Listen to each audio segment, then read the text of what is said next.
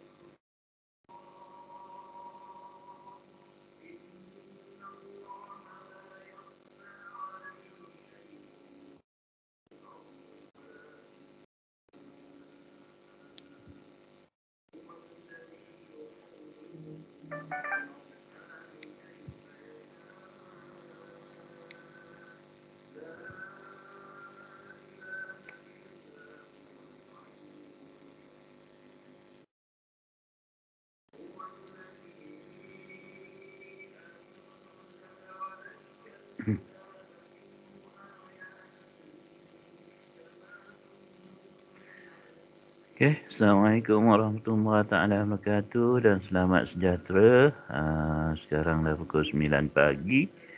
Okay, uh, kita akan mulakan sesi pembelajaran kita pada minggu yang ketiga, lecture yang kedua.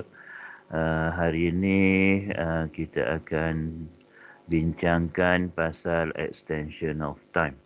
Okay, hari ini uh, saya rasa dalam buku saya ada 13 muka surat termasuk cover yang saya nak bincangkan. Okey. Uh, oleh kerana hari ini kita go uh, kalau dapat as fast as we can.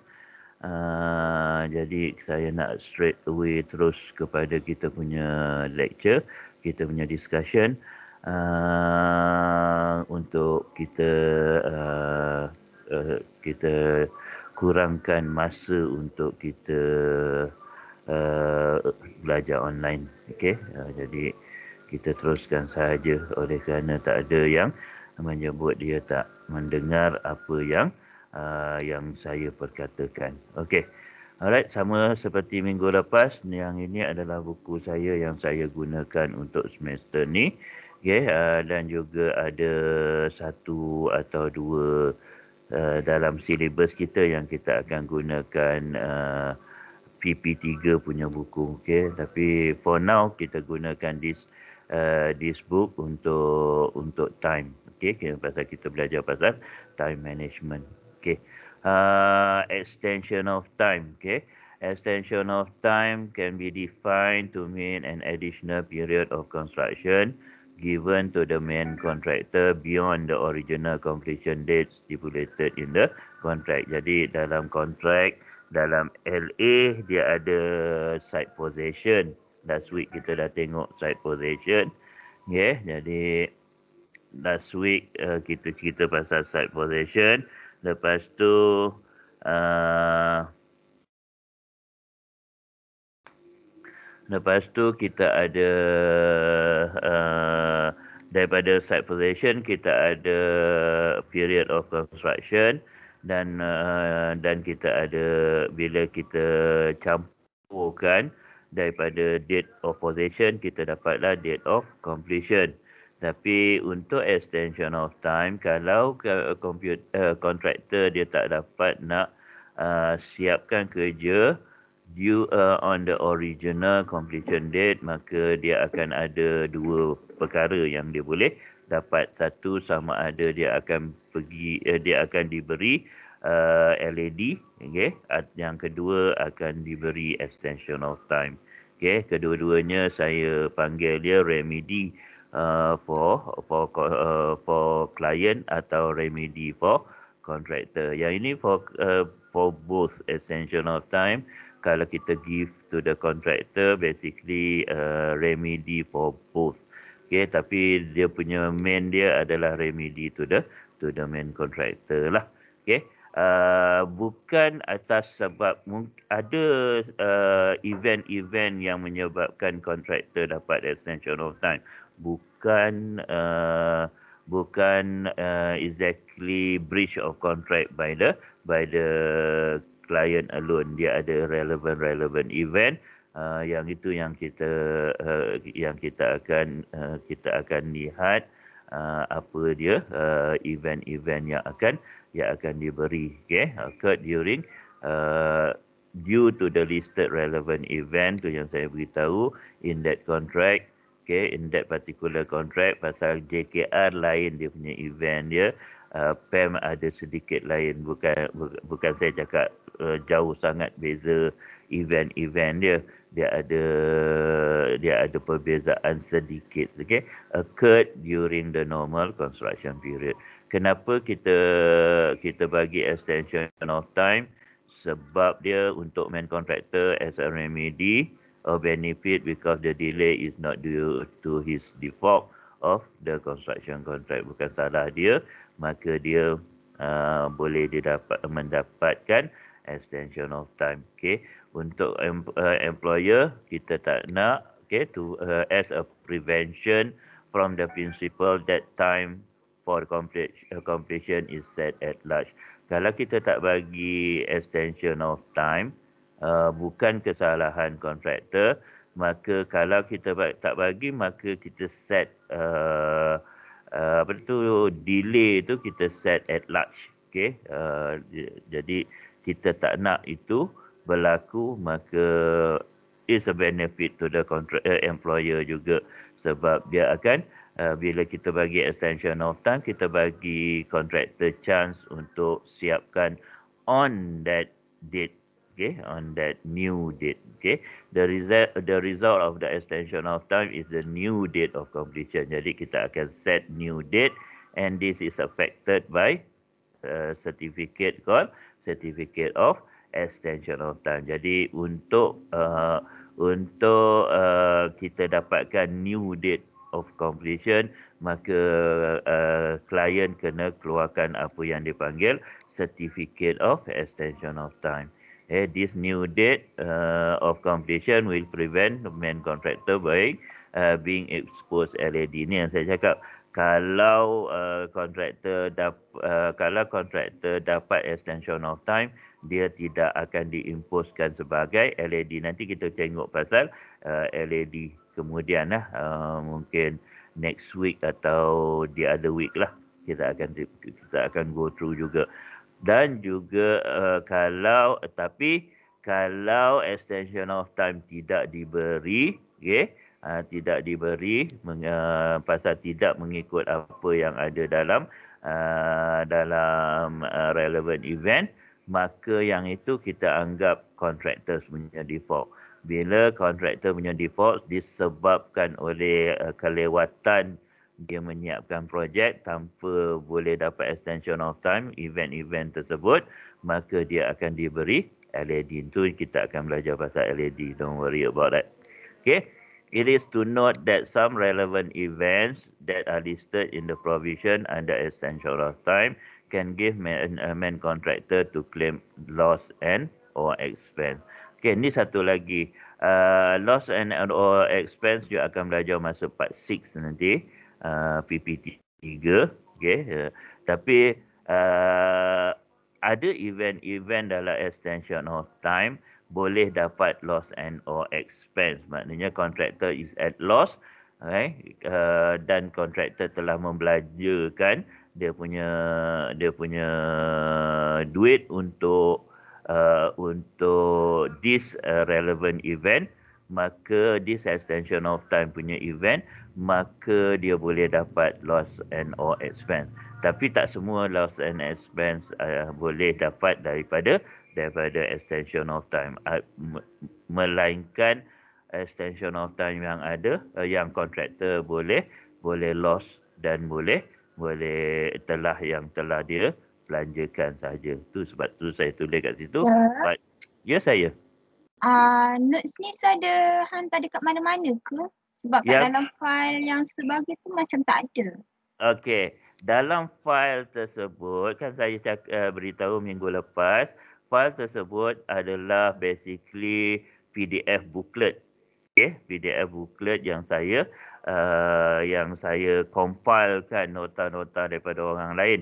Okay, jadi saya compilekan, saya bagi kat situ. Kalau you tengok bahagian extension of time dalam PDF booklet tersebut, uh, saya mulakan dengan Chow Kok Fong punya punya definition. Okay, jadi tapi Chow Kok Fong tu Singaporean punya. Jadi saya sebab tu saya, yang saya tak publishkan buku tersebut PDF tu. Yang ini adalah yang saya publish. Okay, Buku ni yang saya publish minggu lepas saya dah beritahu uh, bahawa yang ini ada ISBN. Saya publish buku ni uh, uh, dan uh, you nak dapatkan you kena beli buku ni. Okay, Uh, beli dengan saya. Okay, Uh, ada di antara you all yang dah beli okey uh, dia harga dia RM28 uh, akan ter- adalah uh, posting handling punya punya cost. Tapi ya, harga buku ni RM28. Okey? Kalau kalau you nak you you kena you kena cakap dengan saya sebab saya tak masukkan dalam Shopee saya tak masukkan dalam uh, apa nama dia tu? Uh, saya tak masukkan dalam Lazada dan sebagainya. Jadi you nak you nak you kena directly dengan dengan saya WhatsApp. Okey, kalau nak lah. Pasal saya tak boleh paksa. Okey, beli-beli buku ni saya tak boleh kata. Tapi kalau nak yang free punya yang saya letak dalam uh, dalam booklet yang saya letak dalam uh, dalam uh, Microsoft Teams dalam file. Yang itu you boleh uh, yang itu memang saya bagi free sebab yang itu adalah compilation of other notes bukan saya punya bukan saya punya notes okey tapi saya akan gunakan yang inilah okey jadi kalau you nak uh, kalau you nak gunakan notes yang itu boleh you guna gunakan notes yang itu tapi you kena tengok video lah uh, kalau tak nak uh, tak nak belilah you boleh gunakan video uh, tengok video balik yang itu ada ada notes yang dalam tu jadi you dapat you dapat juga buku ni dengan macam macam dengan free lah sebab sebab dalam video saja saya akan keluarkan. Boleh? Boleh pada siapa yang bertanya? Okey, sir. Thank okay. you. Alright. Okey, uh, saya sambung lagi ya. Uh, saya cakap tadi, okey, uh, kal ada setengah-setengah uh, relevant event akan mendapatkan kontrak uh, akan membolehkan kontraktor claim for land, loss and or expense. Tapi tak semua yang yang provision under extension of time boleh boleh dapat okay? sebab tu saya tulis kat sini but not all okey tapi semua loss and our expense mesti derive daripada extension of time punya punya relevant event okey dia tak boleh lain daripada daripada yang itu. Jadi nak claim as uh, loss and our expense next next uh, next semester you akan jumpa yang ini. Uh, kalau kalau apa dah kalau tidak bernasib baik saya ajar lagi okey pasal memang saya ajar uh, part 6 part PP3 pun part 6 okey uh, kita akan jumpa lagi pasal land loss and or expense. Yang ini akan saya bincangkan lebih lebih detail. Okey, mari kita tengok. Yang ini yang important. Kita tengok clause dalam uh, dalam standard form yang berkenaan dengan extension of time. Okey, satu-satu clause apa dia cerita dan juga timeline yang saya nak tunjukkan dengan dengan you kalau ada illustration dia. Okey, jadi bila saya tulis kat sini see illustration maknanya kita kena tengok illustration dia. Okey. 39 adalah completion of work. Yang ini kita akan tengok lebih detail akan datang tapi kita nak uh, kita nak baca 39.1 punya kita. Okay, subject to clause 38.3 and 41, uh, the contractor shall complete the whole of the work on or before the date of completion as stated in the appendix. Okay. Jadi kita kita tengok kat bawah dia ni appendix dia kita ada date of site uh, position of the site dan date of completion. Yang ini adalah dia punya timeline untuk 39.1 date of position dia uh, start. Okay, lepas tu ikut construction period, period of construction yang yang kita dah, uh, yang contractor dengan client dah agree dan kita sepatutnya kita ada date of a date for completion. Okay, jadi uh, date for completion ni dia derive daripada uh, daripada contract uh, period of construction dengan date of position. Okay, jadi kalau tak ada apa-apa halangan, okay, kalau tak ada apa-apa halangan, contractor pun mengikut uh, dia on time, maka work completed on the date for completion dan CPC akan di eh, akan isu yang ini kita akan belajar lebih detail uh, dalam semester ni apa dia CPC CPC adalah certificate for uh, certificate of practical completion jadi practically uh, work dah complete maka kita akan uh, SO atau uh, dalam ni JKR SO akan keluarkan CPC dan bila CPC keluar bermulalah defects liability period. Ni pun kita akan belajar semester ni. Okay, berkenaan dengan defects liability period. Ni adalah 3.9.1 kata. Okay, lepas tu 43 adalah berkenaan dengan extension of time. Delay and uh, extension of time. Upon it becoming reasonably apparent that the progress of the work is delayed, the contractor shall forthwith give give written notice to the SO as to the causes of delay and the relevant information with supporting documents, enabling the said officer to form an option as to the cost and calculation of the length of delay.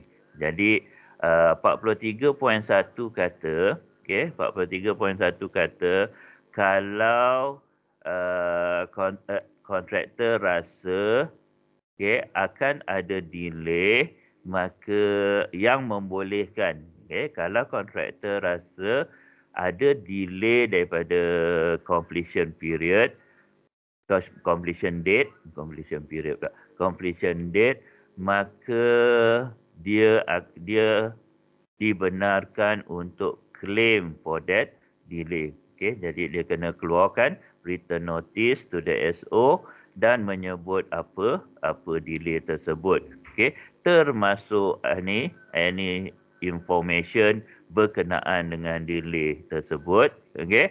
Uh, dia kena beri kepada SO okey? Uh, tapi ke, uh, kalau dapat mengikut apa yang yang telah dinyatakan dalam kontrak lah dia punya dia punya delay-delay dia okey? Jadi if in the opinion of the SO the completion of the work is likely to be delayed or has been delayed beyond the date for completion as in appendix 1 yang kita dah tengok appendix 1 kat bawah ni kita kena nyatakan kat sebelah. Sebelah kanan ni uh, dia punya delay dia berapa eh dia punya date for completion ni berapa. Kalau ada delay tu or beyond any extended date for completion kalau dah dah ada extension of time maka uh, diboleh, maknanya kat sini dibolehkan buat claim for another extension of time. Jadi bila kita dah contractor dah dapat extension of time, maka uh, date for completion dia telah dianjakkan okay, kepada satu tarikh kemudian. Okay. Tapi kalau dia rasa ada lagi delay beyond that extended date maka dia boleh boleh claim tapi dengan syarat okay, dengan syarat dia kena mengikut uh, event-event yang ada. Okay, dalam uh, as, uh, dalam PWD form dia ada A sampai J. Okay this is the relevant event yang yang dia kena dia kena ikut. Yang boleh dia dapat extension of time. Yang bukan daripada ni dia tak dapat extension of time. Jadi uh, biasanya and this uh, yang ini saya cakap eh uh, extension of time boleh kata every semester akan keluar. Okay? Jadi you don't worry about it.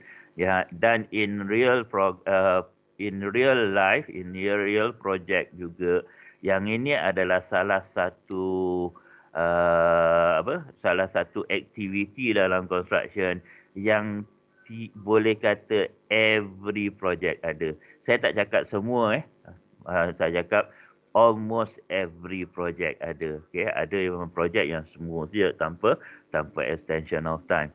Tapi yang ini adalah uh, di antara yang sebab tu kita kita test. Dan uh, dan kadang-kadang yang ini sebenarnya bukan kerja QS eh?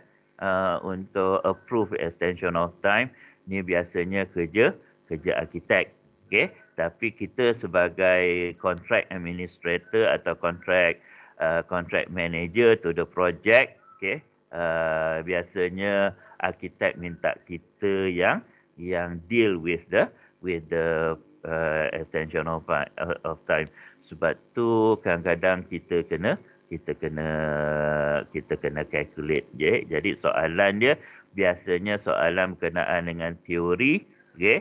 Uh, boleh tak kontraktor dapat extension of time sebab apa sebab apa sebab apa dan juga salah satu lagi adalah berapa banyak yang dia boleh dapat. Okey? Jadi ini relevant relevant relevant event relevant event ni very important. Tak payah hafal okey pasal pasal you akan you akan tengok. In real pun in real project pun kita akan refer balik uh, balik uh, clauses clauses dalam dalam standard form. Jadi kita tak perlu nak hafal kita just check claim daripada kontraktor kalau kontraktor tak, claim kita biasanya kita tak akan entertain lah pasal pasal pada kita yang dia claim mesti mengikut apa yang ada dalam dalam kontrak jadi kalau dia tak claim kita ignore sahaja.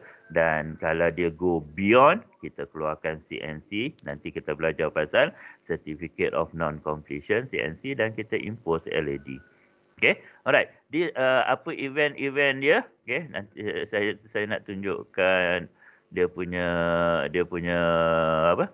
Dia punya timeline juga untuk uh, dulu untuk 43.1 jadi date for possession okey contract period. Ini macam sama dengan yang atas eh? Okey date for completion okey sepatutnya kat sini.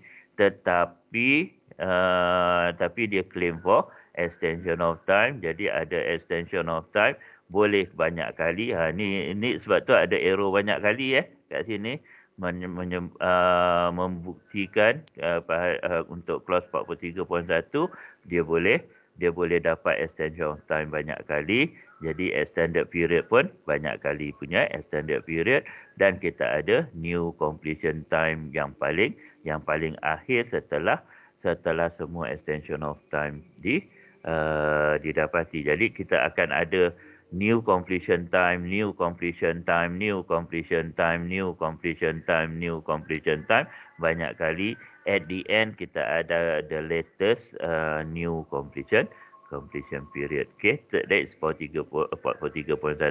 Tapi uh, contractor kena claim kat sini untuk dapatkan extension of time, claim dan dia kena bagi segala segala bukti-bukti yang ada. Okay, alright. Apa relevant event dia? Yang pertama dia adalah force majeure. Okay, ni bahasa ni bahasa Sanskrit, okay, bahasa Latin. Okay, force majeure. Uh, ada orang cakap is act of God okay, tapi kita tak uh, kita tak naklah beri uh, uh, beritahu dia sebagai act of God nanti saya akan detail out A dengan B saya ada detailing dia kat bawah okay. jadi uh, tapi force majeure is the act of nature beyond the control of the of human okay. dia act of nature beyond the control of human yang menyebabkan projek tu kena kena delay. That is force majeure. Dalam JKR dia ada satu clause khusus untuk satu clause khusus untuk force majeure alone iaitu dalam clause 58. Kalau you buka 58, you akan dapat uh, you akan dapat pasal pasal clause force majeure. Okay. Yang kedua adalah exceptionally inclement weather. Yang ini pun saya ada saya ada detailkan at the end of the this uh, uh, this uh, uh, kita panggil chapter. Okay, at the end of this chapter dalam buku saya tu, uh, saya ada nyatakan apa maksud exceptional inclement weather. Okay, kita ada weather, weather adalah cuaca. Inclement adalah weather yang yang besar bukan yang kecil-kecil punya. Banjir kilat ribut apa semua itu adalah yang uh, yang besar-besar. Tapi word yang saya tulis eh, yang ditulis dalam uh, dalam apa uh, dalam standard form of contract adalah exceptionally this is the word yang you kena grab Okay, inclement weather semua uh, semua semua akan faham. Tapi apa yang dimaksudkan dengan exceptionally? Nanti kita bincangkan kat bawah. Uh, uh, towards the end of this uh, of this lecture kita akan bincangkan dua ni A dengan B. Yang ke, yang C adalah suspension of works okay under clause 50. Okay, yang this suspension of work boleh jadi uh, termination of work. Okay, tapi kita akan uh, kita akan cerita pasal suspension of work yang bukan yang bukan boleh dapat termination as suspension yang boleh di uh, boleh menjadikan dia uh, menjadikan dia extension of time sahaja. Okay, jadi extension uh, suspension yang menjadikan dia uh, dia apa? menjadikan dia termination of contract is beyond 90 days yang itu kita yang kita yang kita tahu okey dalam uh, previously okey uh, tapi uh, suspension of works yang uh, kurang daripada tu kita biasanya basically akan bagi. Tapi kena depend on suspension of work tu because of what okey biar jadi uh, yang bukan contractor punya fault basically yang client punya for atau atau any other activities yang perlu di yang ter- perlu dibuat dahulu sepertinya squatters dan sebagainya yang kita kena bagi. Okey uh, yang itu yang menjadikan projek tu uh, suspense. Okey di direction given by the SO okey uh, upon dispute by neighbour yang ini adalah berkenaan dengan basically thought okey bila ada dispute biasanya berkenaan dengan thought lah. Uh, you dah belajar masa part 3 uh, apa yang dimaksud ke part 2 dan part 3 uh, ataupun diploma dan part 3 uh, berkenaan dengan tortious liabilities. Okay? Uh, jadi kalau ada any dispute berkenaan dengan tu, okay, kita tengah kena tengok apa uh, direction. Because of that, uh, mungkin akan dapat extension of time. Okay, ni SO instruction under clause 5. Okay, yang ini banyak banyak instruction because of ni. Uh, tapi this instruction bukan issue of uh, default by the by the contractor atau subcontractor. Okay, right. Kalau default by the contractor atau subcontractor, any SO instruction yang tersebut tak dapat extension of time. Ni SO instruction yang ada dalam clause 5, uh, clause 5 yang bukan yang bukan uh, negligence atau bukan default by the contractor.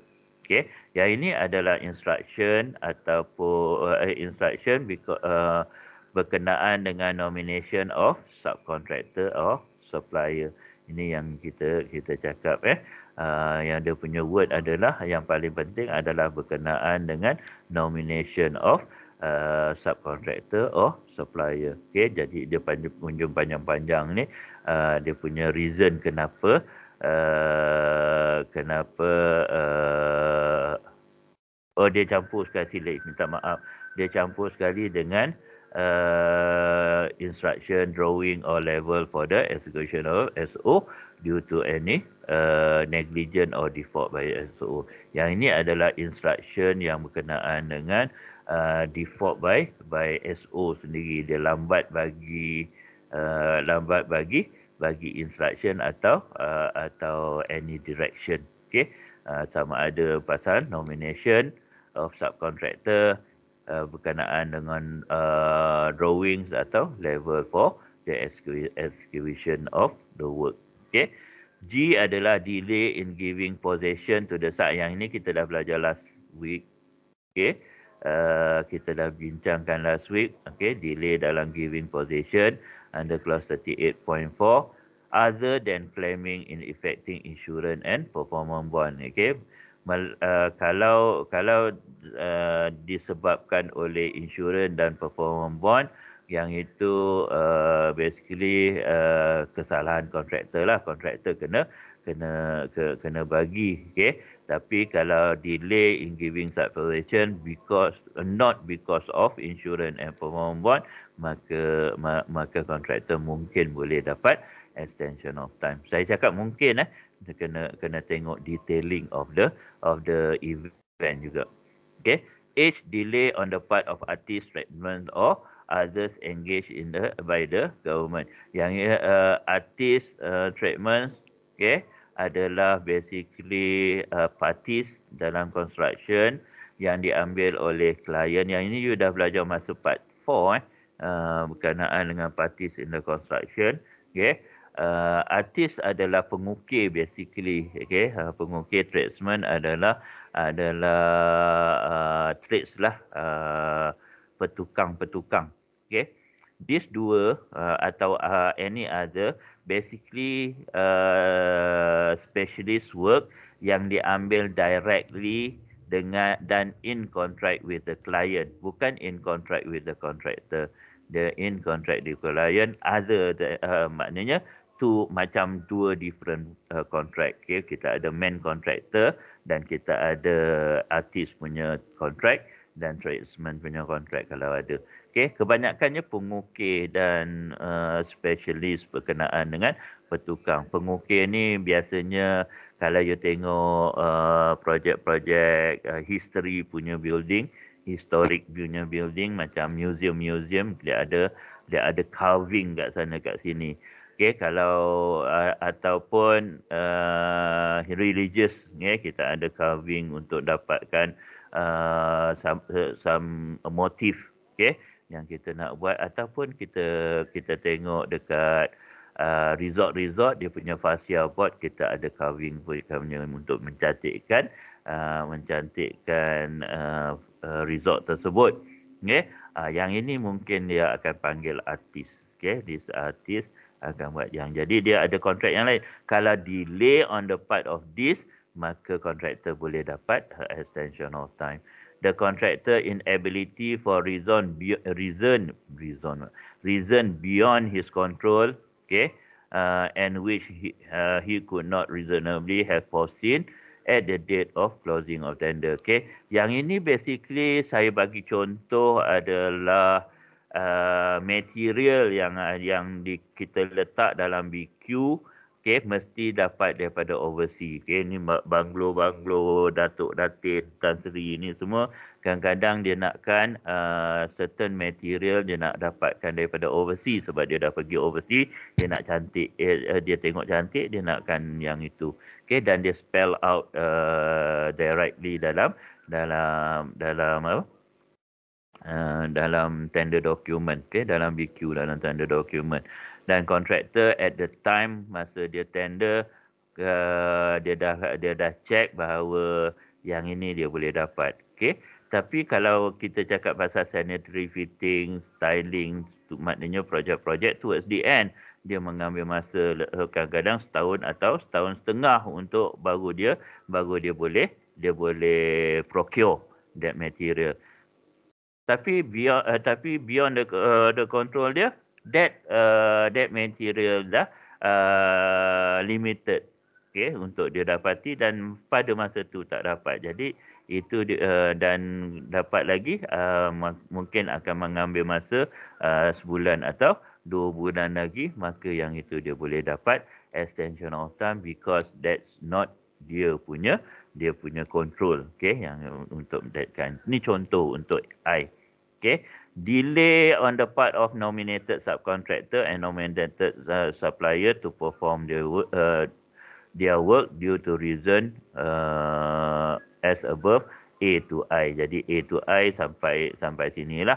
Jadi kalau nominated subcontractor dia claim for delay disebabkan A sampai I, okay, alright, main contractor should, should be dapat dapat dia punya the extension of time also, okay, because because nominated subcontractor uh, uh, ke, dapat delay, basically relate relate uh, dia punya in relation dia main contractor juga akan akan terbabit dalam delay tersebut okay? sebab nominated subcontractor dia kerja bawah bawah main contractor walau uh, walaupun untuk JKR uh, klien yang bayar directly kepada depa uh, pada dia, orang ni uh, tapi uh, kerja dia mesti, uh, mesti masih lagi di bawah di bawah main contractor okey jadi then dia kata the SO may, if he is on the opinion that the extension of time should be granted,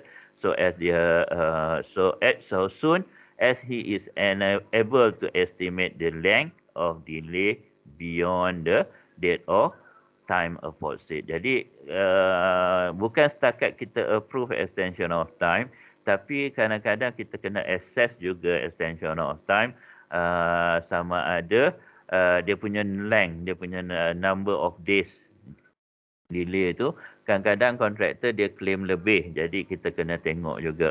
Macam mana kita nak tengok uh, dia punya length of delays? Basically kita akan tengok dia punya program work work program of the contractor. Dia kena punya critical path method dia. Okey uh, sama ada dia falls on the critical path atau dia kita boleh bagi dia uh, dia punya time tu ada ada boleh boleh fleksibel sikit okey? Dia jadi uh, yang itu kita akan tengok. Kalau dia falls under critical path definitely kita akan bagi. Kalau pasal apa? Kalau kita tak bagi the date the that exact uh, time maka aktiviti lain juga akan terbabit dengan dengan delay. Tapi kalau delay yang ada grey uh, grey time atau float time maka kita boleh kita boleh main-main dengan dengan figure tu satu. Yang kedua adalah uh, kalau uh, aktiviti tersebut boleh dijalankan serentak, okay, maka kita ambil satu aktiviti sahaja yang biasanya longer time. Okay, satu lagi kita kita kita tulis sebagai this activity can be uh, can be brought together okay dia, dia boleh concurrently con, concurrently okay uh, dan okay jadi kita kita just ambil satu saja itu uh, teng, kita kena tengok dia punya dia punya delay. Right okay jadi you kena you kena assess tersebut juga. Okay uh, jadi provided that all such delay are not due to any act negligent default by the nominated subcontractor, nominated sub, uh, supplier, contractor ataupun domestic uh, contractor dan sebagainya. Okay, jadi bukan act, uh, bukan default by the by the by the contractor lah. Tapi basically ayat ni pada saya dia dia redundant sebab untuk yang ini biasanya kita akan tengok A sampai A sampai J. Okay? Kalau dia tak bukan A sampai J, maknanya dia adalah due to contractor punya punya negligence atau punya default. Okay? Jadi ayat ni dia macam pada saya dia macam redundant tapi tak apa sebab dia dah ada. Okay? Lepas tu provided always that the contractor has taken reasonable step uh, untuk untuk reduce such delay. Yang ini yang ini adalah implied Okey, yang ini adalah word implied yang mana uh, impliedly kita kena check sama ada kontraktor tersebut dah uh, dah ambil uh, dah ambil very very uh, apa reasonable step untuk reduce the delay kan? Kalau kita nak tengok dia bersungguh-sungguh tak dia untuk untuk reduce delay kalau mungkin aktiviti lain dia dia try itu untuk dia try untuk maneuver dia punya work program macam mana dan macam mana dia punya tu okey? Uh, yang itu uh, yang, yang ini yang susah sikit kita nak produce. Tapi untuk saya terus terang lah untuk untuk masa saya kerja dulu yang ini saya tak ambil tak ambil into account lah. Sebab susah kita nak kita nak kira ya sejak pasal dia very very implied dan kita nak kena check juga uh, dokumen-dokumen uh, kontraktor yang mana uh, menjadi uh, membuat uh, menunjukkan dia dia taken that steps untuk reduce delay. Okay, tapi biasanya saya akan tengok A sampai J tersebut. Uh, provided further, okay, banyak sangat provided ni.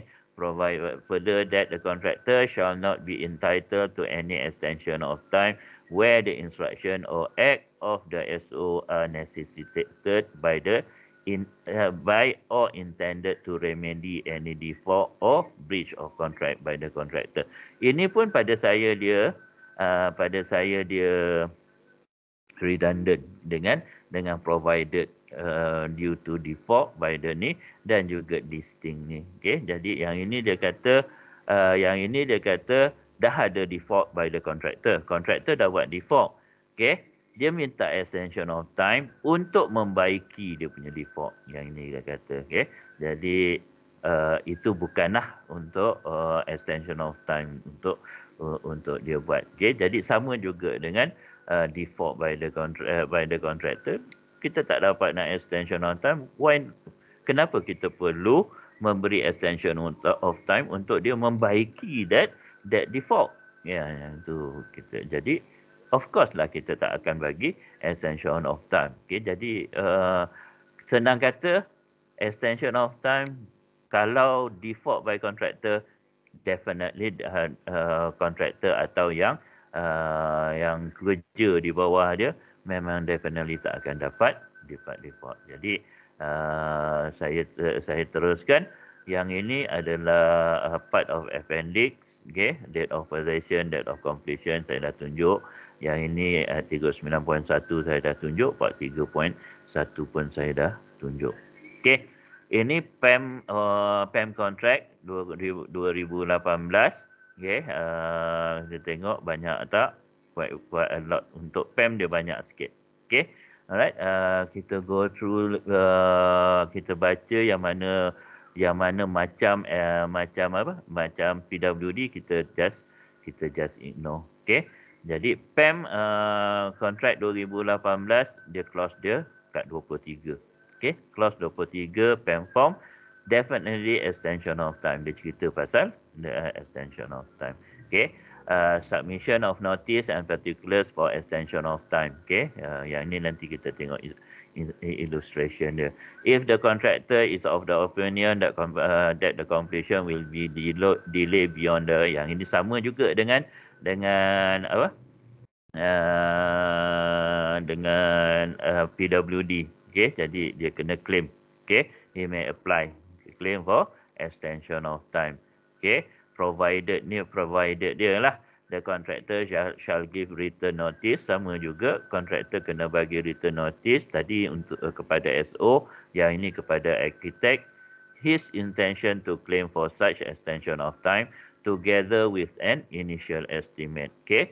Jadi kat sini kat sini saya cakap eh different between JKR punya dengan uh, PEM punya. JKR contractor boleh claim uh, extension of time dia bagi notice sekali notice.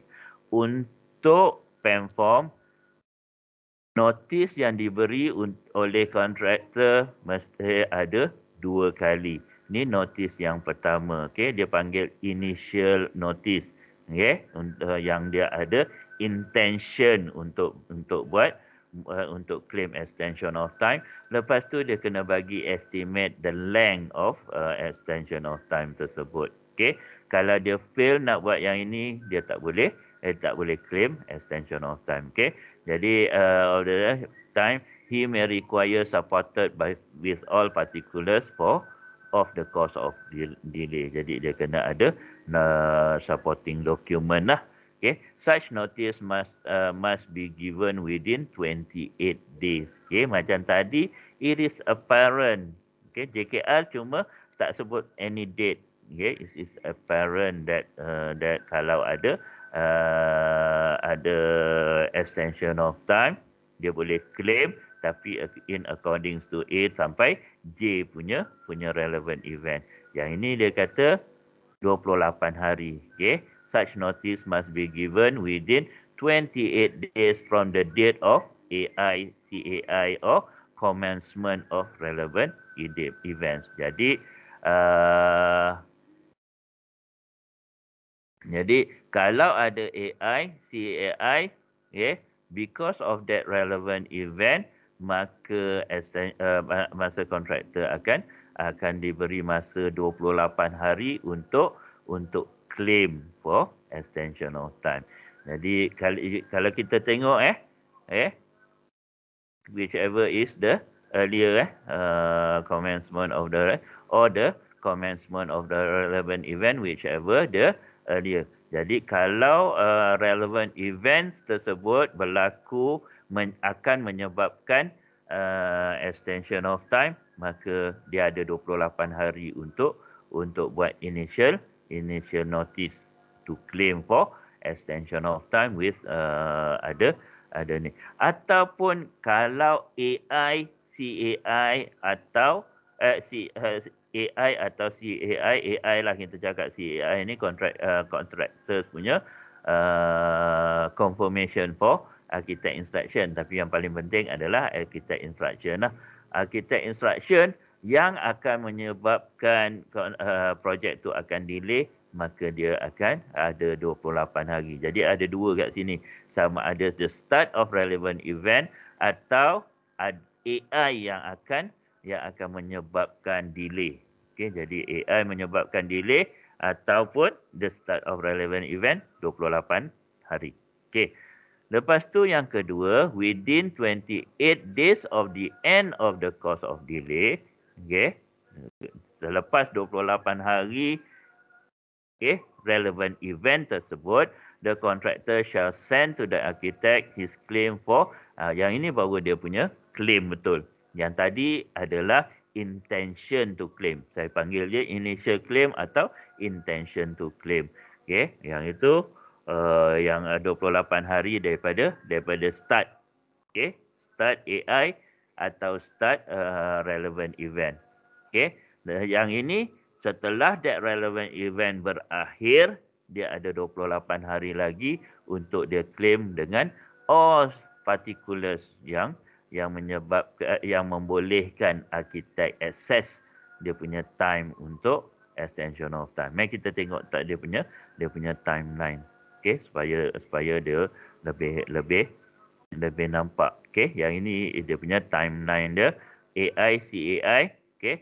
28 uh, start AI CAI 28 uh, dalam masa 28 hari dia panggil ini saya panggil initial notice okey. Okey. Kalau tak ada initial notice yang kedua tak akan berlaku. Yang ini yang penting okey. Lepas tu uh, biasanya AI CI start dengan relevant event. Atau tanpa AI CI relevant event berlaku. Okay, bila relevant event berlaku, stop of the relevant event, okay, end of relevant event dia ada 28 hari lagi untuk keluarkan second notice. Yang ini mungkin earlier than this atau yang ini mungkin later oh, uh, end of this. Jadi yang ini dengan yang ini basically first notice dengan second notice dia tak go dia tak go uh, sequential.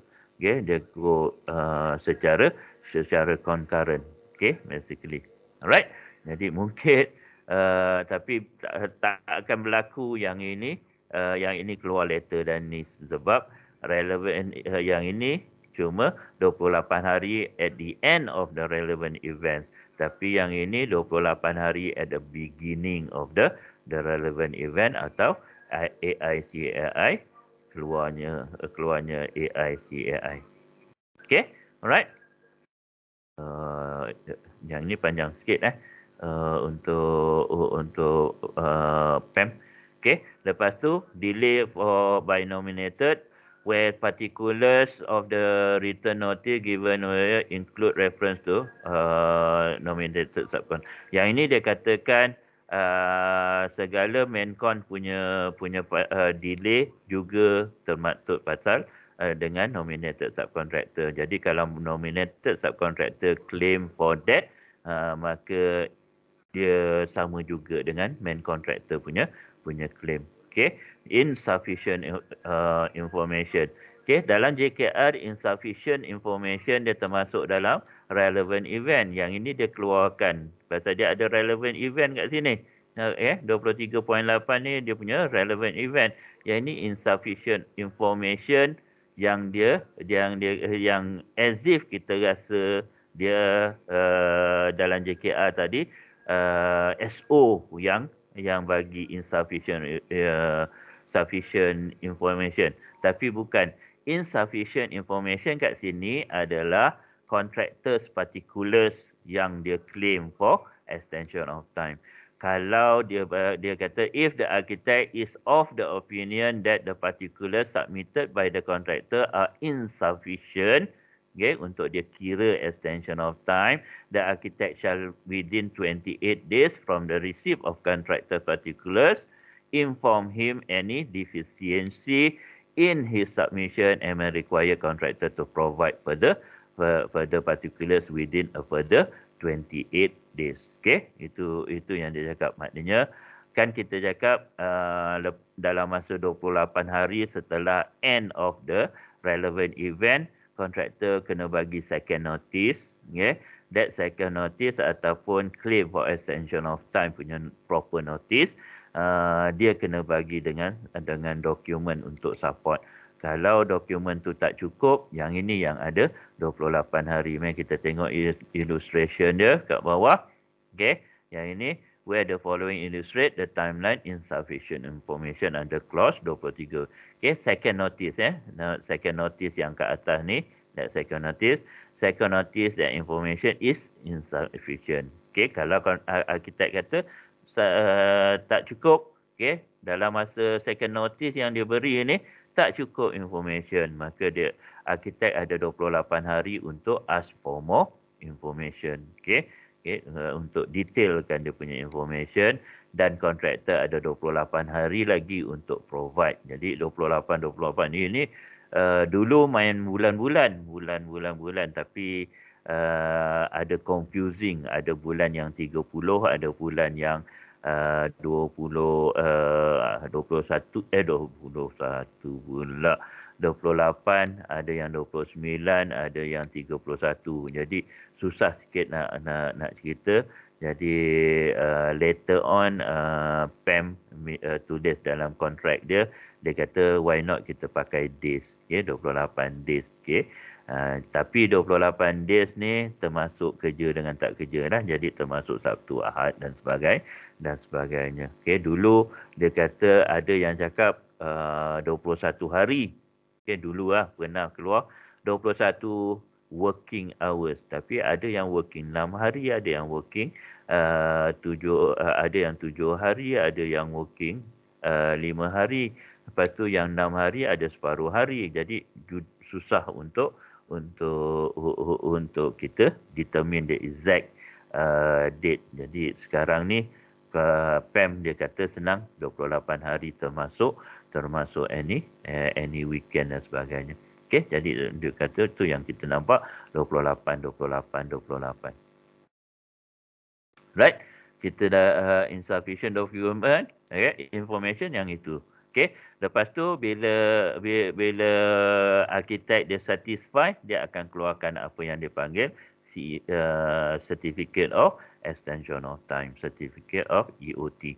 Okay, when the contractor has submitted sufficient uh, okay, uh, the submission and shall either reject application, okay, with reason, okay, or issue certificate of extension of time, okay, within six weeks of the receipt of the uh, sufficient. Yang ini dia pakai weeks pula, enam minggu, okay.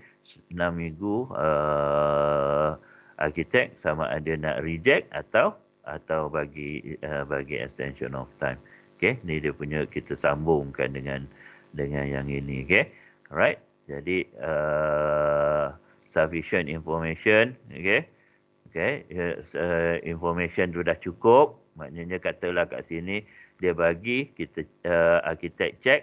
Okay, cukup. Okay, jadi dia ada 6 minggu within 6 week untuk bagi uh, bagi decision by the architect sama ada reject ataupun certificate of extension of time. Itu dia punya dia punya dia punya timeline untuk dia. Okey alright. Uh, 23 eh mana dia? Uh, 23.4 tadi. Okey 23.5 kata other consideration for extension of time is in assessing the extension of time the architect may take into account the following. The effect and extent of any work omitted under the contract.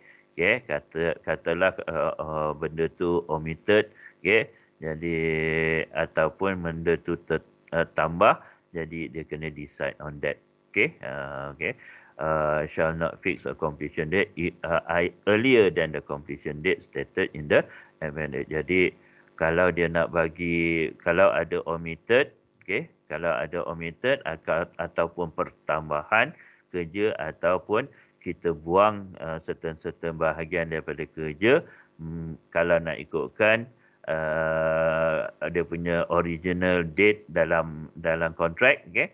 original date dalam kontrak akan menjadi lebih lebih lebih lebih awal tapi kita stick for that original date masa telah dikurangkan okay? kita kita kurangkan jadi kalau kita kena kita kena bagi extension of time janganlah early daripada yang kita dah set dalam dalam kontrak atau any extension yang telah kita bagikan. Jangan lebih kurang daripada tu. Mesti dia mestilah lebih. Kalau kurang daripada tu baik tak usah bagi extension of time kan? Okey lepas tu b any other relevant event which in the architect opinion will have effect and effect on the contractor entitlement to an extension of time. Jadi relevant event yang uh, pada 23.8 is not uh, is not limited. Okay. Jadi kalau ada relevant event yang lain yang arkitek kata uh, contractor is entitled for extension of time, contractor boleh dapat 20 uh, mengikut 23.5B. Okay, yang itu maknanya uh, untuk PEM form dia tak limited kepada certain relevant event. Untuk JKR dia strict uh, dia stick eh A sampai J ke H tadi. Okay, uh, that's the all the relevant event yang boleh dapat extension of time. Tapi uh, PEM dia dia bagi dia bagi uh, dia bagi uh, dia tak limit. Okay, susah sangat nak nak cari ayat dia tak limit kepada relevant event yang dinyatakan dalam dalam kontrak yang membolehkan kontraktor dapat extension of time. Jadi 23.5B dia boleh dapat. Okay. Contractor to prevent delay. Ni macam macam JKR lah. The contractor shall constantly use his best endeavor to prevent or reduce delay in the progress of work. Jadi dia kena uh, dia kalau dapat dia uh, dia try untuk untuk untuk prevent delay tersebut daripada berlaku. Okey uh, diligently. Okey uh, lepas tu notification 23.7 notification to the nominated subcontractor. The architect shall notify every uh, subcontractor in writing each decision by the okey right kata uh, pasal dia ada efek pada NSC juga. Kadang-kadang NSC punya punya delay yang menyebabkan arkitek eh kontraktor dapat extension of time jadi any extension of time yang uh, yang kontraktor kena eh, dapat dia kena beritahu nominated subcontractor. Okey, tu 23.7. Okey, 23.8 adalah relevant event. Kita tahu relevant event ni not strict oh, panjangnya sampai Y. Okey, uh, kita go go, go cepat-cepat sikit kalau ada lah. Okey. Uh, kalau ada nak kena terangkan saya kena terangkan macam tadi lah. Okay, force measure sama juga dengan tadi. Force measure, lepas tu exceptional inclement weather, kita akan tengok juga uh, kita akan tengok kemudian apa yang saya dah dan saya dah ceritakan sedikit okey loss and or damage occasioned by one or more of the contingencies uh, berkenaan dengan 21 22 uh, dan 20 C. 20 A B C adalah insurances. Kita akan belajar pasal insurances. Dan insurances ni basically uh, because of thought okay? Okay thought dan kita akan ceritakan. Dan bila kita cerita pasal loss and or damage uh, claim for loss and damage mesti claim saya dah cerita tadi kan loss and or damage mesti claim uh, berkenaan dengan extension of time. Okey semua loss and damage punya claim mesti berkenaan dengan extension of time. Sebab tu dia tulis kat sini land or uh, loss and or damage because of thought. Okay? Because of thought. Okay? Alright, uh, civil commotion, strike, lockout, affecting, okay. Yang ini uh, kalau ada riot, ada strike off, ada lockout, okay. Macam kita kita punya ada lockdown dan sebagainya.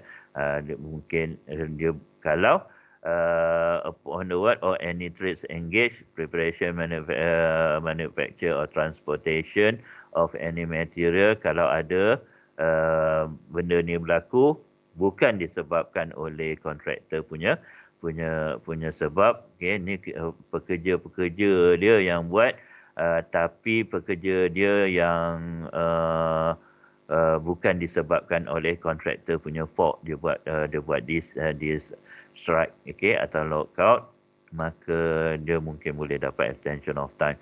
The contractor not having received in due time ni dokumen okey sama juga dengan tadi okey uh, pasal pasal dokumen okey sama juga yang tadi berkenaan eh mana dia okey berkenaan dengan dokumen alright okey uh, macam macam JKR tadilah berkenaan dengan information atau dokumen. The contractor not having received in AI, ni berkenaan dengan AI lagi lah, further drawing, berkenaan dengan expenditure of PC sum, provisional sum. Sama juga okay, cerita dengan JKR tadi. Okay. Delay by the employer in giving possession ni side possession. Sama juga dengan JKR tadi tapi uh, dia punya cerita lain eh. Last week kita dah cerita pasal side possession antara JKR punya dan juga PEM punya. Jadi kita kena check lah uh, according to 21.1 dan 21.2 dia punya cerita dia Lepas tu age compliant with AI ni sama juga dengan AI. Uh, I delay on the part of NSC ni juga kita dah cerita tapi yang ini dia directly kena te- kita kena tengok PEM subcontract 2000 2018 okay? Renomination of nominated subcontractor. Okay? Yang ini uh, nanti kita belajar pasal eh next semester you akan belajar pasal NSC okay? Uh, NSC uh, kenapa kita kena renominate uh, renominate uh, ada sebab-sebab tertentu uh, mungkin ada challenge daripada Mencon sendiri okey uh, tapi kita kena check on the 27.1 okey delay on the part of uh, craftsman tradesman or other contractor ni pun kita dah cerita tadi dengan dalam dalam dalam uh, dalam PWD okey delay or failure to supply material. Sama juga kita dah cerita pasal uh, dalam uh, dalam apa dalam uh, PWD lebih kurang macam ni uh, yang ini ada lain sikit. Yang ini the open opening up for inspection uh, work cover up okay for testing. Yang ini adalah uh, basically contoh yang saya nak cakap adalah foundation lah. Okay, foundation kalau dia dah buat foundation kita nak check sama ada konkret tersebut uh, boleh withstand uh, the loading of the of the of the building ke tak. Jadi kita kita kita kena test that uh, that concrete yang digunakan diguna pakai mungkin kita tak uh, kita tak buat cube test atau slump test masa masa kontraktor tu buat. Dan kita kita kita tanya kenapa kontraktor tak buat uh, tak buat that uh, kind of test. Uh, maka kita requires dia untuk buka balik uh, benda yang dia dah kambuskan dengan tanah. Jadi dia kena buka balik dan dia kena test that concrete. Okay? Uh, itu yang dia kata ni opening of uh, up for inspection. Okay? Lepas tu testing material. Okay? Jadi kalau kalau benda tu mengikut apa yang uh, yang ada dalam kontrak, okay, satisfied, maka that uh, that that dia kontraktor boleh dapat extension of time. Tapi kalau kontrak uh, kalau uh, kalau didapati kontraktor tidak mengikut apa yang dan dinyatakan dalam kontrak, maka kontraktor kena bond, ya, yeah, kena bayar, kena betulkan, kena bond the the the, the apa? the duit duit duit uh, expenditure untuk membaiki that uh, that uh, contohnya foundation yang saya nyatakan tadi okay right dan dia tak akan dapat extension of time. Okay? Right? Itu M. Okay? And any act of prevention breach of contract by the employer. Ah, yang ini yang ini very very uh, very very subjective. Okay? Jadi kita kena hati-hati bila kita cakap uh, breach of contract by employer. Okay? War damage kalau ada peperangan. Okay? Right? Uh, itu pun beyond the control of the of the uh, of the both parties okay compliant with AI sama juga. Compliant with AI yang kita cakap pasal AI AI tapi yang ini lebih kepada antiques okay kita korek-korek tanah kita jumpa barang-barang antik.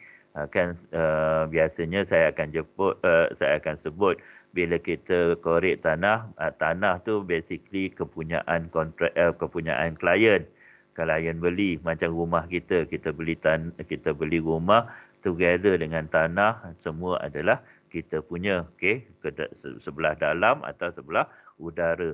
Tapi kalau kita dapati ada kepentingan pada negara pada negara negara akan take over. Contohnya kita nak kita korek tanah kita nak buat swimming pool katakan. Tapi tiba-tiba kita korek kita jumpa kita jumpa antiques atau kita jumpa tulang dinosaur ke ataupun kita jumpa barang bahan-bahan purba ke, ataupun kita jumpa emas kita jumpa minyak maka yang itu akan ada interest kepada kepada negara. Jadi negara akan take over. Okey? Nah itu kita cakap okey? Macam discovery of antique okey jadi segala masa dindong-dindong dengan autoriti kerajaan Malaysia maka kontraktor boleh dapat extension of time kalau dia masih lagi boleh buat dalam dalam kawasan tersebut.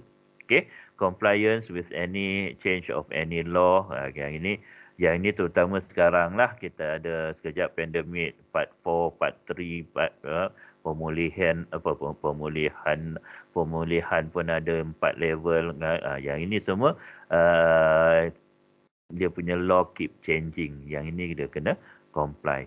Delay caused by any uh, appropriate authority or service provider. Yang ini uh, authority lah. Uh, local authority MBKS ke je.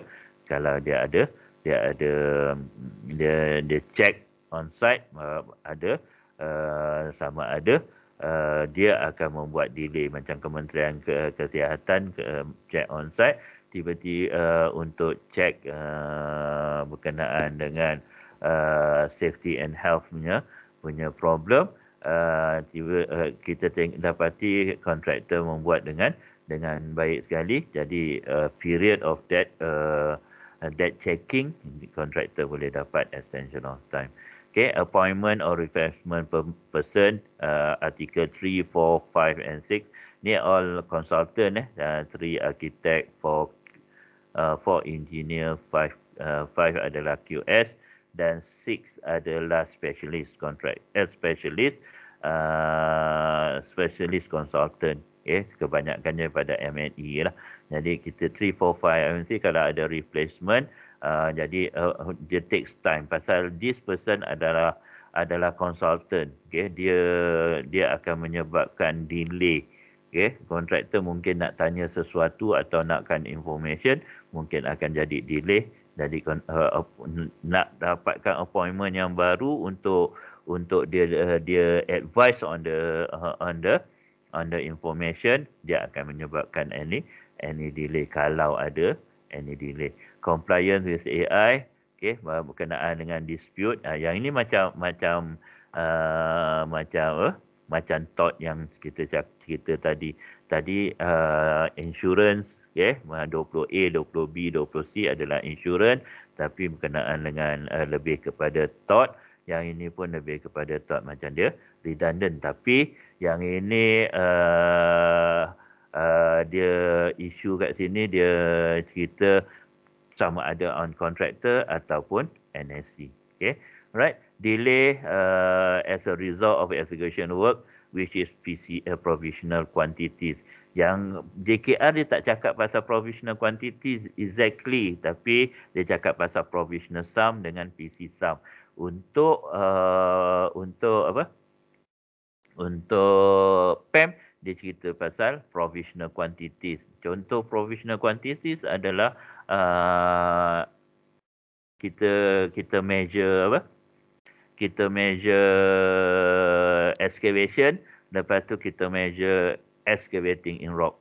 Okay, excavating in rock kita letak bias, biasanya dalam kurungan kita letak provisional iaitu provisional quantities okay ataupun the whole element is provisional quantities okay uh, the whole element of uh, excavation adalah uh, adalah uh, provisional quantities included which in the opinion of the architect is not reasonably accurate okay forecast of the quantity. Jadi uh, architect mungkin minta uh, sebelum kontraktor buat Uh, sesuatu pekerja sesuatu uh, item tersebut yang ada provisional quantities mungkin dia nak kena kira uh, quantity dia exactly dulu okey sebab mungkin pada masa tender uh, kita tak dapat accurate detail okey kita tak dapat SIR dengan detail tapi tapi yang ini setelah kita buat SIR kemudian kita dapati yang kuantiti ini kita boleh kita boleh kira balik dan kita kena kira balik secara accurately before. Jadi delay on that mungkin akan akan akan terjadi. Lepas tu failure of uh, employer to give in uh, in due time entry for or exit from the site. Okay, jadi uh, mungkin sesuatu biasanya uh, sesuatu site tu kontraktor yang akan propose nak masuk guna guna jalan mana, nak keluar guna jalan mana.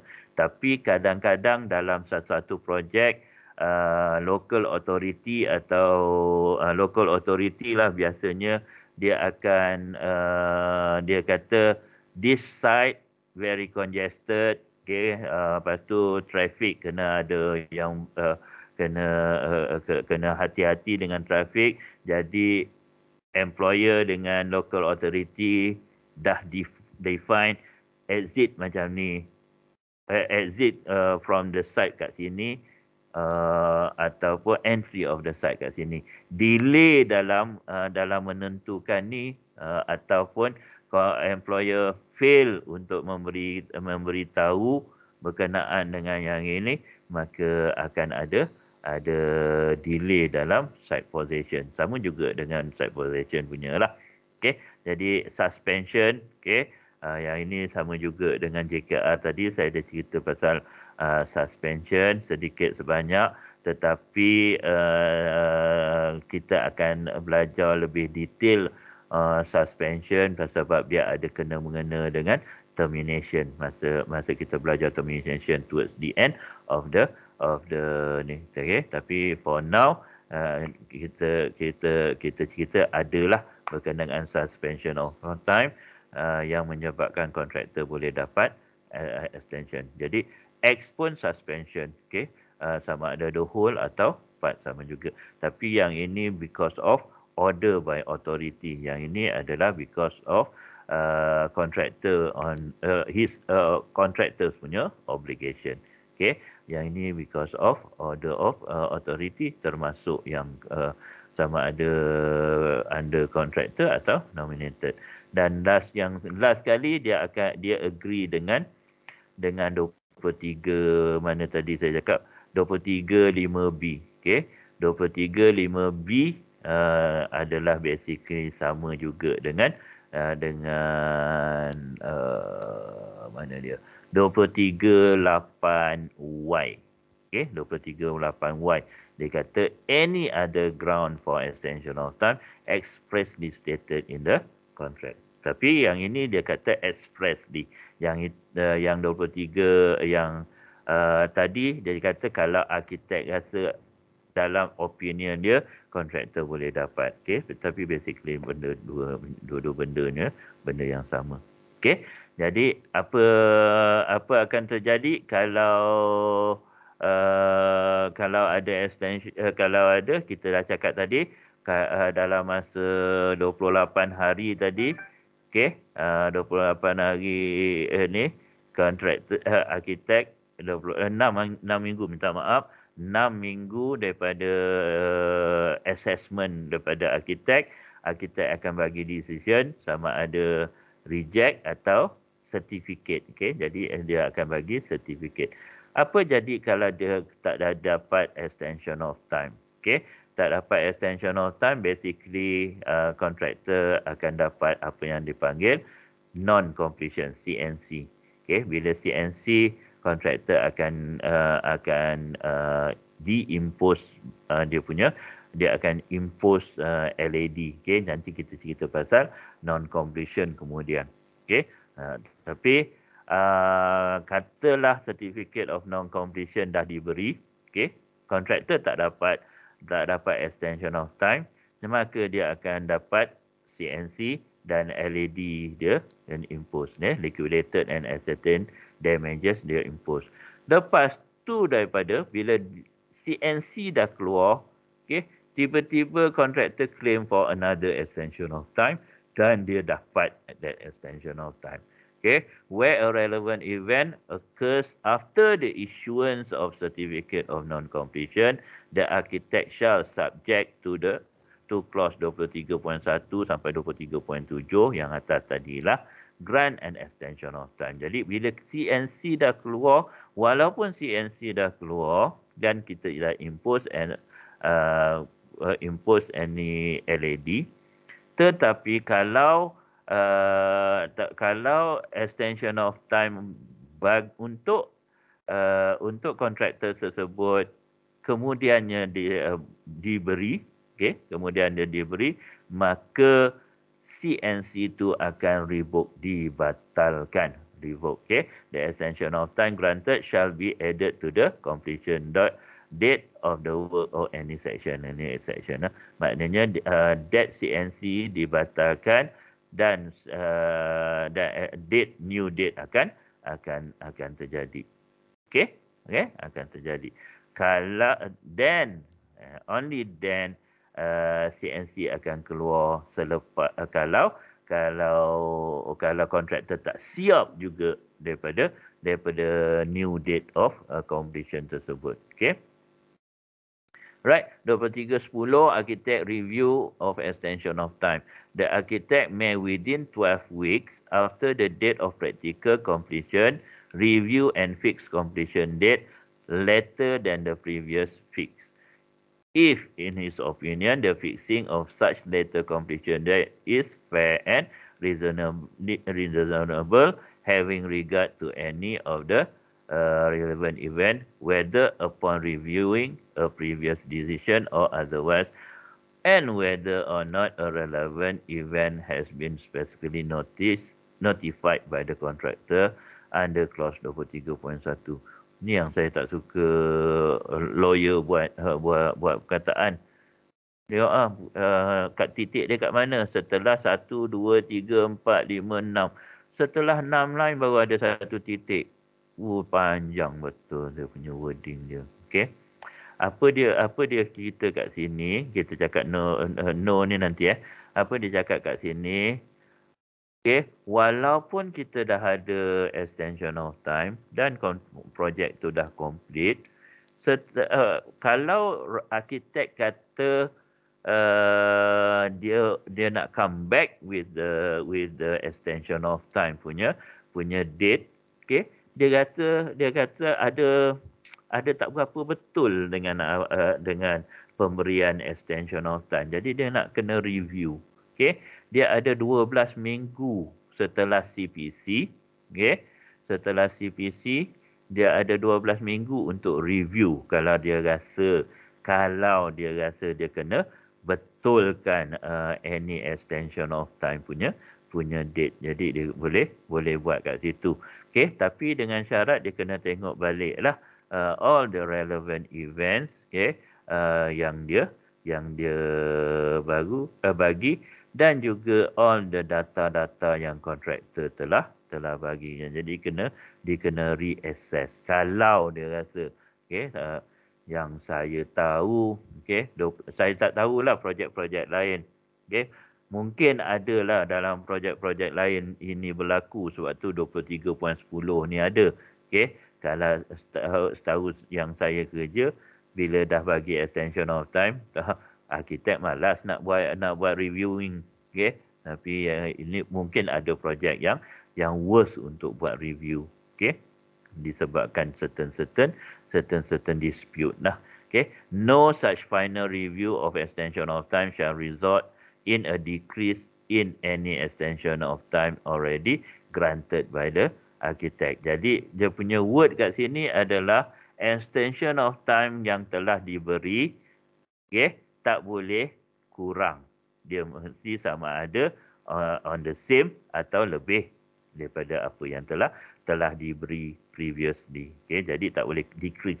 Dia kena uh, sama ada stay ataupun increase dan the date. Okay, jadi LED uh, kalau ada LED beyond the the extended date of uh, approved extended date uh, dan yang itu mungkin akan berkurangan dia punya LED. Sebab tu kadang-kadang kontraktor kontraktor minta uh, klien uh, klien review. Okay, itu yang mungkin lah.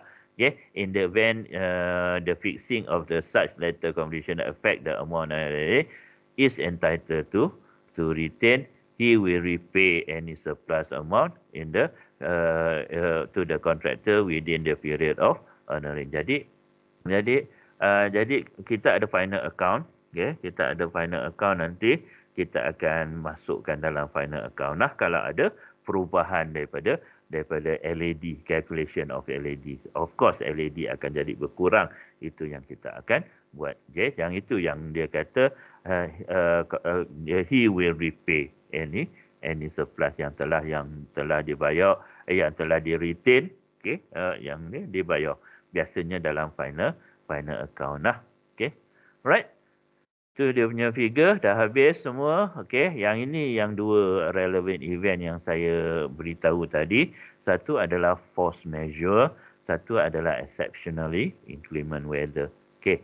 Force measure which is an unforeseeable event beyond the control of any parties in the construction contract and preventing the parties to do their obligation under contract. Okay, uh, yang ini uh, basically an unforeseeable event. Okay, kebanyakan daripadanya dicerita pasal act of God.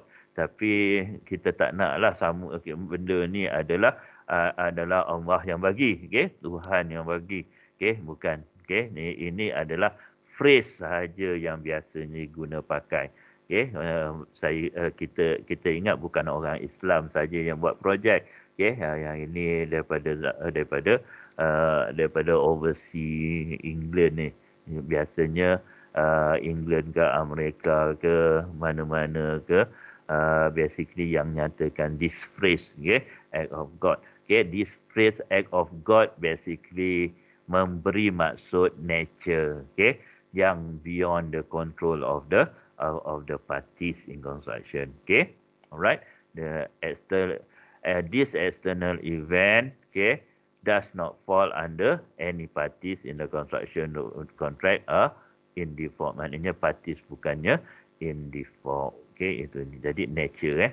Okay, contoh uh, contoh dia adalah uh, force major adalah tiba-tiba katalah tiba-tiba panas terik okay? tapi panas terik kita c- boleh cakap inclement weather okay? uh, tapi inclement weather tu kena tengok dari segi apalah okay? katalah force major tiba-tiba kapal terbang uh, patah sayap dia okay?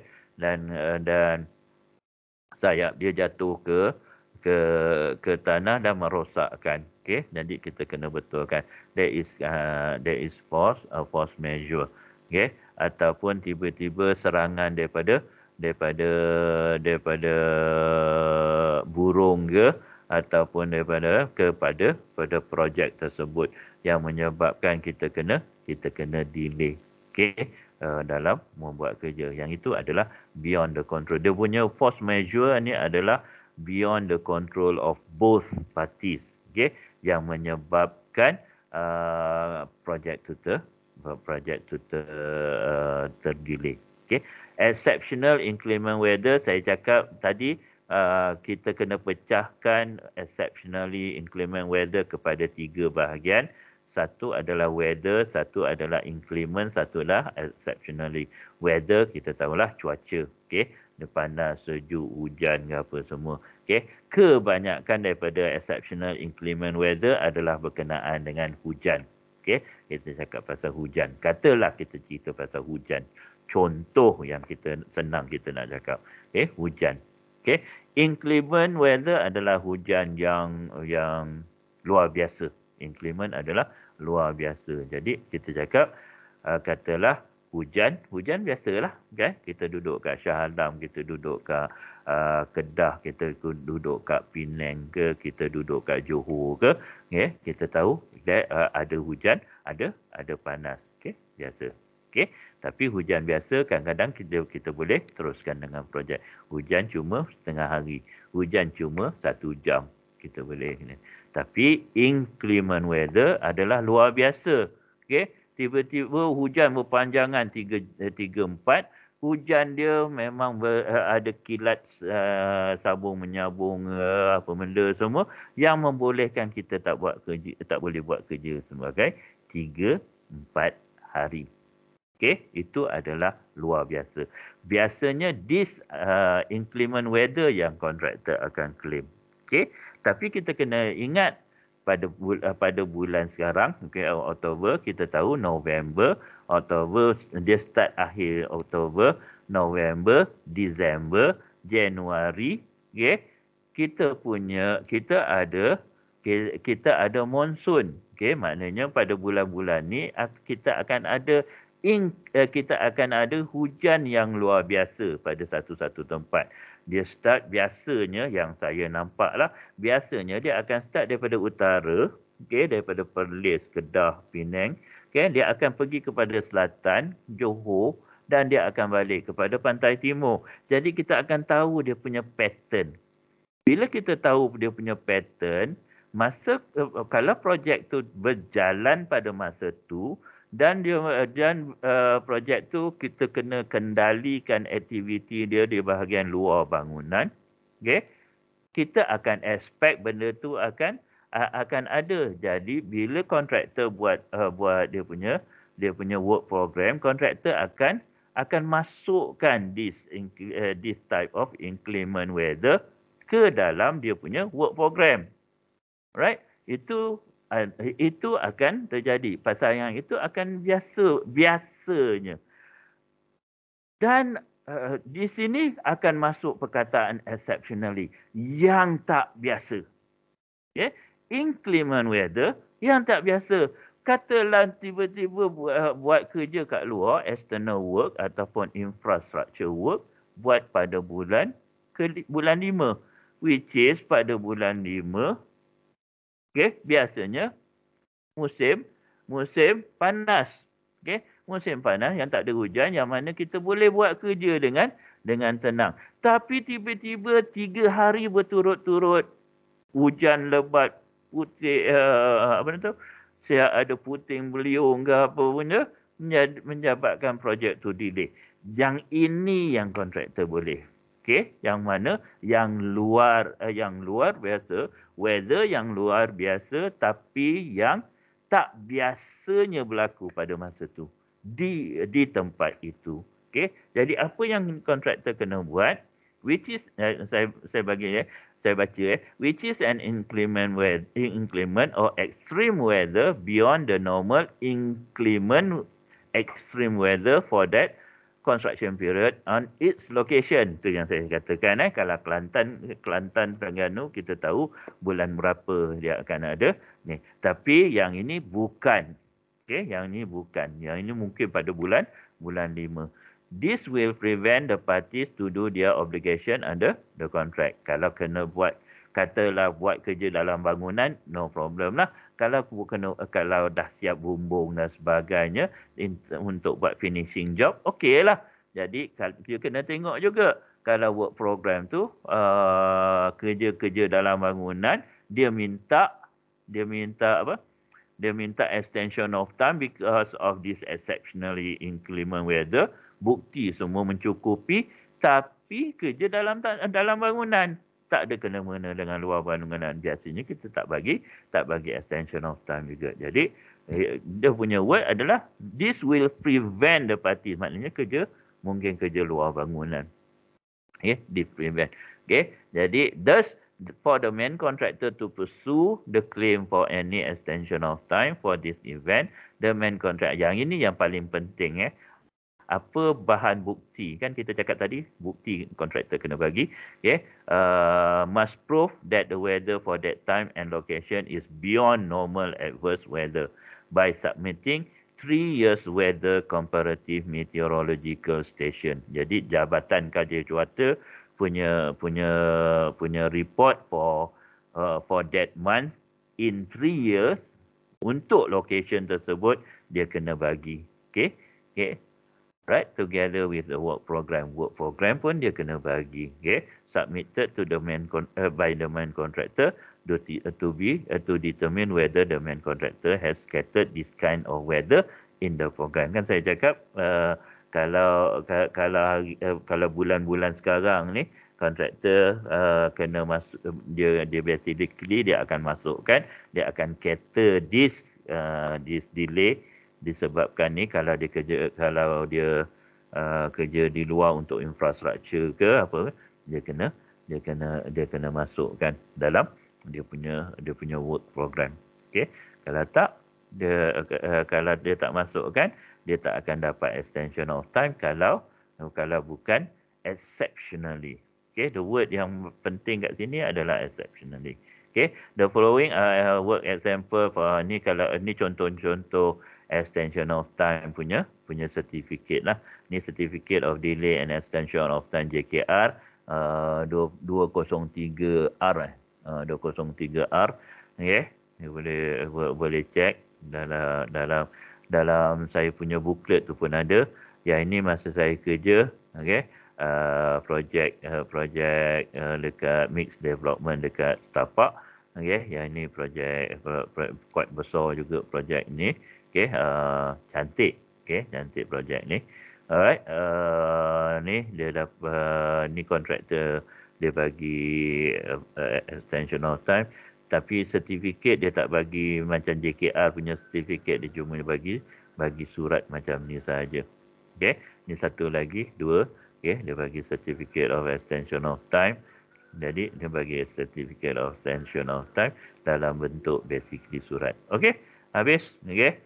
Uh, satu jam setengah saya uh, saya uh, saya beri kamu input on, on extension of time. Extension of time memang memang banyak benda yang yang kita nak uh, nak nak buatkan. Okay, alright. Uh, kalau ada kalau ada pertanyaan uh, berkenaan dengan minggu lepas atau minggu ni punya punya penceritaan uh, boleh boleh masuk campur. Kalau tak saya anggap you nak you nak bertanya mungkin uh, selepas daripada ni atau uh, atau bila-bila uh, bila-bila you boleh boleh bertanya dalam WhatsApp group atau atau private message pada saya okey? PM tepi kat saya okey? No problem. Atau bawa pada next week pun pun tak apa. Next week kita kita akan tengok uh, non completion saya rasa. Okey? Ataupun sectional completion non completion atau sectional completion kita tengoklah apa yang ada. Ya apa yang ada in store untuk untuk you. Okey satu lagi uh, saya nak beritahu uh, saya lupa nak beritahu minggu lepas bahawa dalam uh, file dalam Microsoft Teams ada satu uh, ada satu apa folder yang saya tulis sebagai tutorial. Okay. Tutorial uh, basically adalah soalan-soalan yang saya beri kepada uh, kepada student uh, mengikut uh, syllabus. Okay. Jadi last week ada ada site position punya question. Uh, saya bagi dalam satu file kan, dalam bentuk slide okay? jadi you boleh baca kat situ. You boleh attempt. Kalau you nak tanya uh, dan this week punya extension of time punya soalan pun ada. Okay? kalau you nak attempt you boleh attempt uh, dan beri kepada kepada saya. Manalah tahu uh, pasal soalan dia. Saya ambil daripada previous previous uh, semester punya soalan dan uh, soalan dia macam soalan final assessment atau final exam lah. Jadi you might want to to review, okay, to buat, okay. Dan boleh bagi kepada saya dan saya akan check dan saya akan bagi tahu you uh, apa kekurangannya, okay. Uh, tinggal lagi uh, saya bagi hint awal-awal lah, okay. Semua jawapan dalam da, dalam tutorial ataupun dalam uh, final assessment, final exam besok mestilah mengikut clause. Maknanya you kena nyatakan clause, you kena ceritakan clause tu ber- mengikut soalan yang yang diberikan. Jadi clause tu penting.